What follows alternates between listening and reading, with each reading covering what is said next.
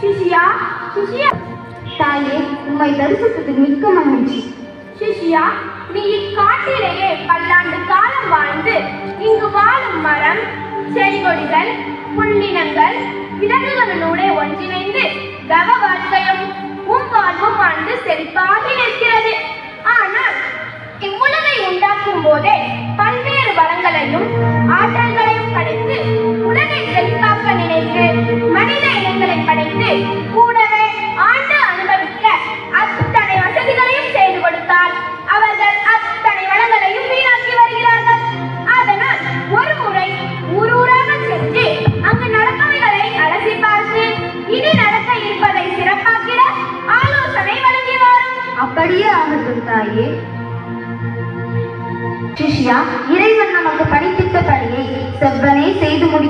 வேண்டுமெனில் பஞ்சபூதங்களில் ஒன்றான நீர்வளத்தினை மட்டும் கருத்தில் கொண்டு அதை சரி செய்ய நினைக்கிறேன் எனது முடிவு சரியானதுதானா? ஏனெனில் நீரானது மற்ற பஞ்சபூதங்களான நிலத்திலிருந்து ஊற்றெடுக்கிறது நெருப்பை அணைக்க உதவுகிறது காற்றில் நீராவியாக உள்ளது மற்றும் வானத்திலிருந்து மழையாக பொழிகிறது. எனவே நீரை முதன்மையாக்கி முக்கியத்துவம் கொடுத்து முன்னெடுக்கிறேன் சிஷியா அது மட்டுமல்ல தண்ணீர் என்பது வெறும் நீர் அல்ல அது நாகரிகம் பண்பாடு சம்பந்தப்பட்டது. உலக நாகரிகம் எல்லாம் நீர்நிலையின் ஓரத்தில் தான் தோன்றியது. நிறம் மனம் குணம். இவை எதுவுமற்ற அரிதான இயற்கை வளமான நீரானது ஒவ்வொரு சந்தர்ப்பத்திலும் தன் முக்கியத்துவத்தை உணர்த்துகிறது. ஓ அப்படியா? உங்க அறிவே சிறந்த அளவு குருவே. சரி வாரும் ஒவ்வொருவராக வலம் வருவோம். அப்படியே ஆகட்டும் குருவே.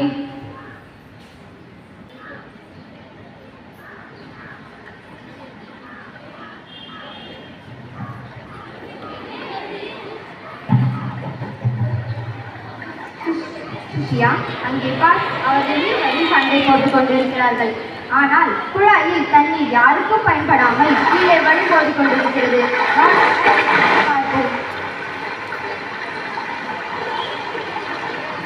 வா, நிறுத்துங்கள் உங்கள் சச்சரவை இவ்வுலகில் நாம் வாழ்வது என்னவோ சில வருடங்கள் தான் அதற்குள் ஏன் இந்த பாகுபாடு வெறுப்பு? நீங்கள் சண்டை போட்டுக் கொண்டிருக்கும் போது உங்கள் கவனம் வீண் வாக்குவாதத்தில் தான் உள்ளது. எவ்வளவு நேரம் தண்ணீர் வீணாகி கொண்டிருக்கிறது? நீரின் அருமை உங்களுக்கு தெரியணும்னா வறண்ட பூமியில தாகமா இருக்க ஒரு மனுஷன் தண்ணிக்காக பாடுற பாட்டை பாருங்க.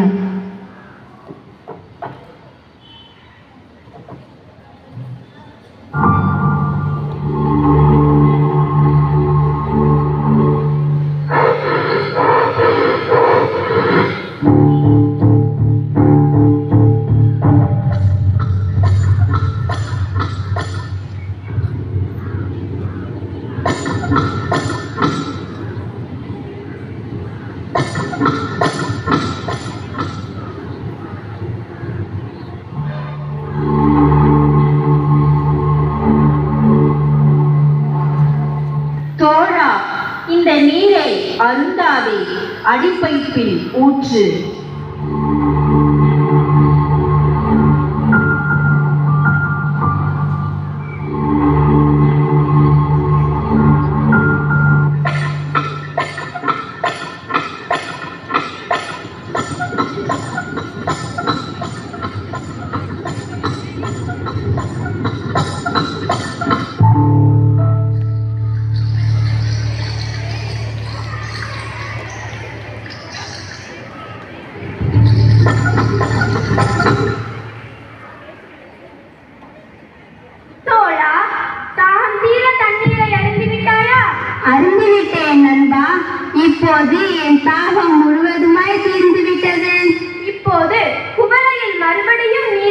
நீரை நிரப்பி என் மரக்கிளைகளில் கட்டிவிட்டு செல். உன்னை போல் தாகமாய் வருபவர்களுக்கு அது பயன்படட்டும். அப்படியே செய்கிறேன் நண்பா.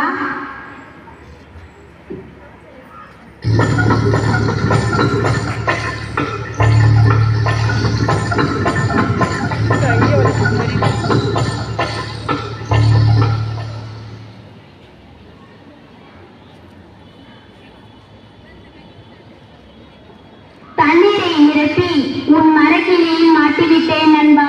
போய் வருகிறேன் நண்பா. போய் வா தோழா.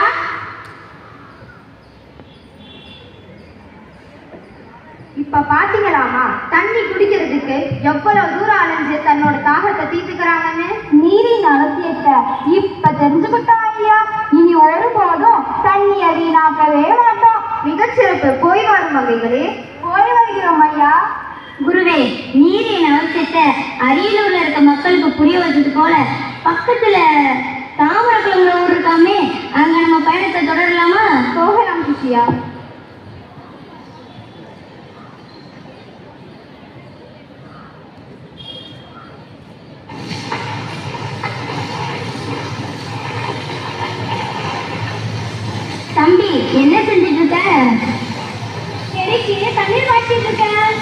வாளியில தண்ணி நிரப்பி ஊத்துனா தண்ணி சிக்கனமா செலவழியப்பா வந்துட்டாரே இங்கு. ஊருக்கு உபதேசம் பண்ணிட்டு உங்க வேலையை பார்த்துட்டு போங்க. எவன் தண்ணி எடுத்துட்டு போய் ஊத்துறது? மகனே பொறு பொறு. ஏன் இவ்வளவு கோபம். அவர் அப்படி என்ன சொல்லிவிட்டார்? தண்ணீரை சிக்கனமாக செலவிடு என்று சொன்னது அவ்வளவு பெரிய குற்றமா? அப்படி இல்லையா? பரபரப்பான கொண்டு போய் ஊற்றுறது சாத்தியமாகுமா? பரபரப்பான உலகத்துல இருந்தாலும் தண்ணி இல்லாம மக்கள் படும் பாட்டை பார்த்தது இல்லையா நீரின் அவசியம் தெரியணும்னா நெருப்புல வந்து படுக்கையில கிடக்கிறவங்க தாகம் இருக்கும்ல அவங்கிட்ட கேட்டுப்பாரு. நீர் அத்தியாவசியத்தை. அதே மாதிரி சிறுநீரக செயலிருந்து போறவங்களுக்கு அவங்க குடிக்கிற டீ சாப்பாட்டுல இருக்க தண்ணி குடிக்கிற தண்ணி எல்லாம் சேர்ந்து ஒரு நாளைக்கு ஒரு லிட்டர் தண்ணி தான் குடிக்கணும்னு டாக்டர் சொல்லியிருக்காங்க. ஏ ஆறுமுகம், நம்ம ஊர்ல இருக்கான கோவிந்தசாமி அவன் கூப்பிடுதான் சிறுநீரகம் செயல் இறந்து போச்சான் டாக்டர் அவனை ஒரு நாளைக்கு ஒரு லிட்டர் தண்ணி தான் குடிக்கணும்னு சொல்லியிருக்காங்களாம் நான் அப்பதான் அவனை போய் பார்க்கணும் பார்க்கணும்னு நினைச்சிட்டே இருந்தேன் சரி வா நம்ம ஒரு இட்டு போய் பார்த்துட்டு வந்துடலாம் சரிடா மச்சான்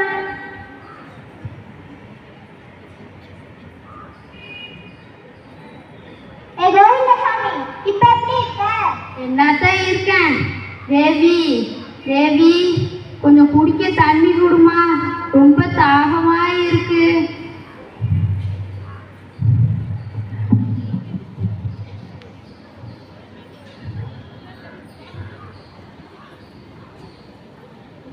என்ன தேவி இவ்வளோ கம்மியா கொடுக்குற நீ கொடுத்த தண்ணி என் தொண்டை கூட நனையல நான் என்னதான் பண்றது? டாக்டரே உங்களை ஒரு நாளைக்கு ஒரு லிட்டர் தண்ணி தான் குடிக்க சொல்லியிருக்காரு. அதாங்க நான் அளந்து பார்த்து கொடுத்தேன்.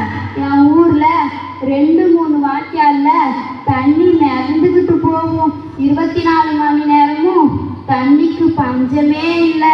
இப்ப ஒரு சொட்டு தண்ணிக்கு ஏங்க வேண்டியதா இருக்கு? இப்ப பாத்தியாப்பா இருக்குன்றதுக்காக செலவழிச்சுட்டு இல்லாதப்பா கையேந்தி நிக்க கூடாது மன்னிச்சுக்குங்க ஐயா இனிமே நான் தண்ணியை வீணாக்க மாட்டேன். நல்லது தம்பி.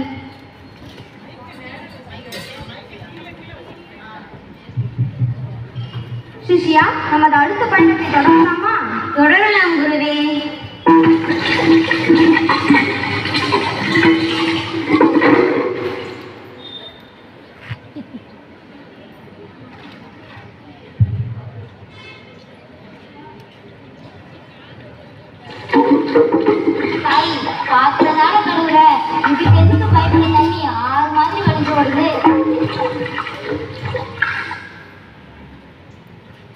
இந்த தண்ணி இல்லாம சென்னை மாதிரி பல இடங்கள்ல மக்கள் பாடுபடுறாங்க.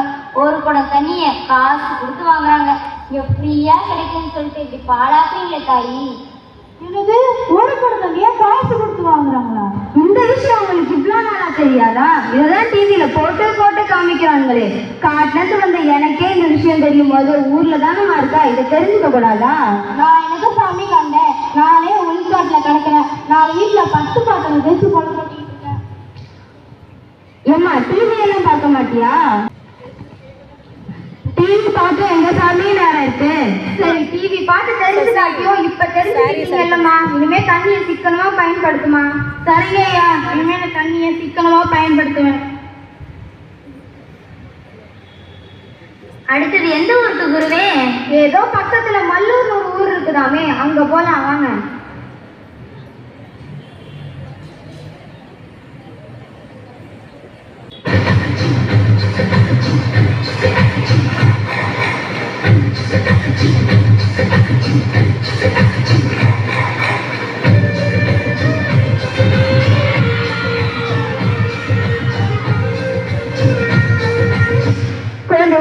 இப்படி மழை தண்ணியில ஆட்டம் போட்டுட்டு இருக்கீங்களே உங்க ஊர்ல மழை தண்ணியை ஏதாவது ஏற்பாடு பண்ணிருக்கீங்களா விளையாட்டு பிள்ளைங்க?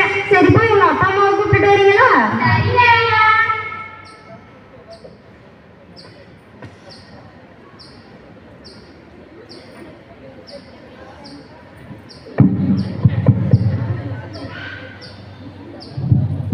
வாங்க ஐயா உங்க ஊர்ல மழை தண்ணியை சேமிக்கிறதுக்கு ஏதாவது தொட்டி இல்லைன்னா நேரா பூமிக்குள்ள போற மாதிரி உரை அரைக்கிருக்கீங்களா இருந்துச்சுங்க ஒரு காலத்துல. ஆனா அதெல்லாம் இப்ப தூண்டு போச்சு. உங்க வீட்டுல தான் தூண்டு போச்சு. ஆனா எங்க வீட்டுல தான் இன்னமும் பராமரிச்சுட்டு தான் இருக்கும். ஐயா இப்படி தூண்டு போக விட்டா எதிர்காலம் எப்படிங்க ஐயா சிறப்பா இருக்கும்? மரம் செடி கொடி உயிரினங்கள் உயிர் வாழ நீர் அவசியம் நம்ம முன்னோர்கள் நீரின் முக்கியத்துவம் அறிஞ்சு கால்நடைக்கும் பொங்கல் பொங்கலுக்கும் ஆடிப்பெருக்கு நீருக்கும் ஆடிப்பெருக்கு விழா எடுத்திருக்காங்க. இது மட்டும் இல்லைங்க. நீங்க சொல்ற விஷயத்த எங்க தாத்தா சொல்லி நானும் கேள்விப்பட்டிருக்கேன். ஆமா நான் கூட ஸ்கூல் படிக்கும் போது எனக்கு நீரின் அவசியத்தை பத்தி சொல்லி கொடுத்துருக்காங்க. அப்படி என்ன சொல்லி கொடுத்துருக்காங்க? சொல்லு கேக்குறோம். பரப்பெயர நம்ம அவையார் பாட்டி கூட சொல்லியிருக்காங்கல்ல? ஆமா வள்ளுவர் கூட ரெண்டாயிரம் வருஷத்துக்கு முன்னாடியே நீரென்று அமையார் உலகினில் யார் யாருக்கும் வானென்று அமையாது உவளுக்குன்னு எழுதியிருக்கிறாரு. இதுல யார் யாருக்கும் அப்படிங்கிறது கவனிக்கப்பட வேண்டிய விஷயம். அரசன் முதல் ஆண்டி வரை மேரி முதல் பேரி வரை நீர் இல்லையே உலக இயக்கமே இருக்காதுன்னு சொல்லியிருக்கிறார். அது போல வானத்திலிருந்து வருகிற மழை இல்லையே மண்ணில் ஒழுக்கமும் நினைக்காது அப்படி நினைக்கணும்னா மாதம் மும்மாறி மழை பெய்யணும். எப்போ வறட்சி வருதோ பஞ்சம் வருதோ அப்போ மக்கள் மத்தியில ஒழுக்கம் என்பது இல்லாமலே போய்விடும். ஒழுக்கம்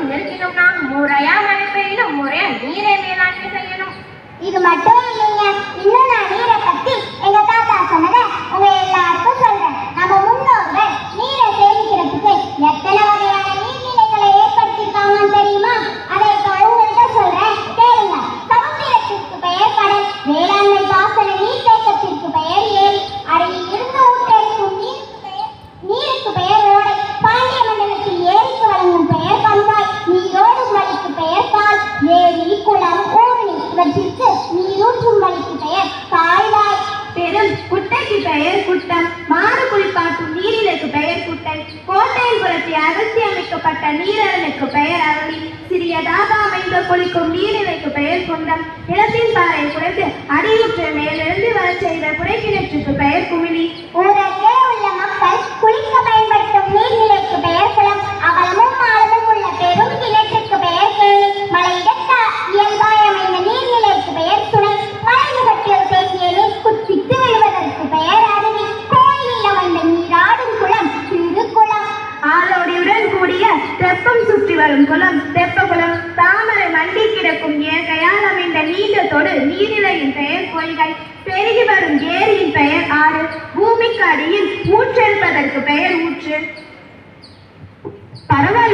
அருமையா சொன்னீங்க.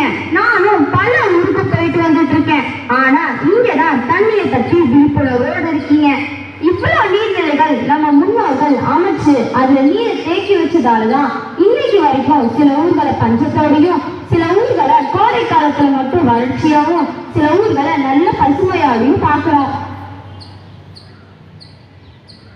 ஆமா ஊர்லே நீங்க சொல்றது நூத்துக்கு நூறு உண்மை குருநாதா இத்தனை நீர்நிலைகளும் இப்ப இருக்கா இருந்த இடமும் தெரியல உருவான தடமும் தெரியலையே ஆமா சுஷியா இதுல பல நீர்நிலைகள் ஆக்கிரமிக்கப்பட்டு ப- பல தொழிற்சாலைகளாகவும் பல மாடி கட்டடங்களாகவும் உருமாறி இருக்கு.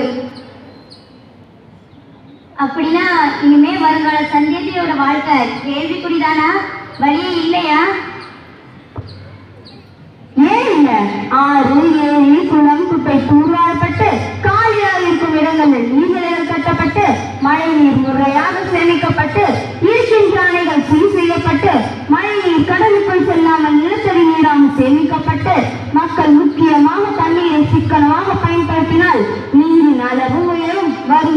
de Dios y